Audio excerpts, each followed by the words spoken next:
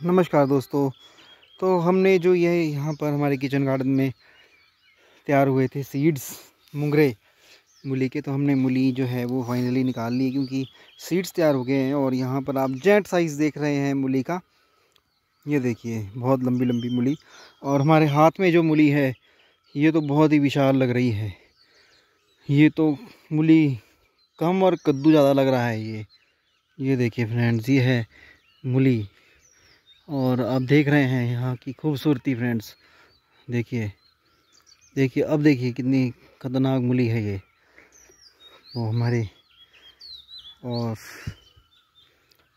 सामने ही है national airport जुबरहटी और अब हमारे जो बनानाज है, वो भी काफ़ी अच्छे हो गए हैं आजकल। और किचन गार्डन की सैर में आपको करा देता हूँ। किचन गार्डन में जो है, वो मिर्चें भी लग चुकी है, हरी मिर्चें। और ये मेरे एप्पल्स के जो एप्पल के ट्रीज़ हैं। और ये देखिए मूली, क्योंकि मैं निकाल रहा हूँ उनके सीड्स और ये देखिए फ्रेंड्स हल्दी का पौधा निकल आया है। ये देखिए, काफ़ी खूबसूरत लग रहा है ये हल्दी का पौधा। और यहाँ पर मैंने काफ़ी सनफ्लावर्स लगाए हैं। सनफ्लावर्स मुझे बहुत पसंद है। तो आप देख सकते हो कितने अच्छे सनफ्लावर्स लगे हैं और साथ में खिले हुए भी हैं यहाँ पर। अगर मैं आपको दिखाऊँ तो और ये स्पाइनच पालक और इसी के साथ मैंने कुछ एक रोज़ेज़ भी तैयार किए हैं इसके साथ। तो रोज़ भी बहुत सुंदर खिले हुए हैं। ये देखिए फ्रेंड्स बहुत ही खूबसूरत और ये साथ में ही गन्ना और फिर और भी ज़्यादा रोज़ीज़ हैं। और वो क्रो वहाँ पर उड़ रहा है। तो हमारा विलेज आपको कैसा लग रहा है फ्रेंड्स और ये देखिए मैंने, आजकल गर्मियाँ हैं तो इरिगेशन की ज़रूरत पड़ती ही है। और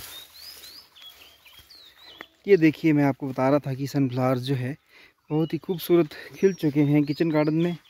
ये देखिए फ्रेंड्स ये देखिए सनफ्लावर्स और ये वाला तो बहुत ही सुंदर खिला है। ये देख सकते हैं आप इसकी खूबसूरती। काफ़ी अच्छा खिला है। ये देखिए फ्रेंड्स सनफ्लावर्स और हमारे किचन गार्डन में आप देख रहे हैं बैंगन लग चुके हैं। ये देखिए फ्रेंड्स बैंगन। और कुछ एक पालक के बीज कलेक्ट करने हैं मुझे। और साथ में ही अश्वगंधा के बीज भी यहाँ मैंने तैयार किए अश्वगंधा जो होता है ये सुना ही होगा अश्वगंधा तो हम तक बने रहने के लिए धन्यवाद फ्रेंड्स एक बहुत ही सुंदर पिंक रोज़ रोज़ेज़ मुझे बहुत पसंद है। ये देखिए पिंक रोज़ बहुत ही खूबसूरत रोज़ है ये। ये पिंक रोज़ की बुश है।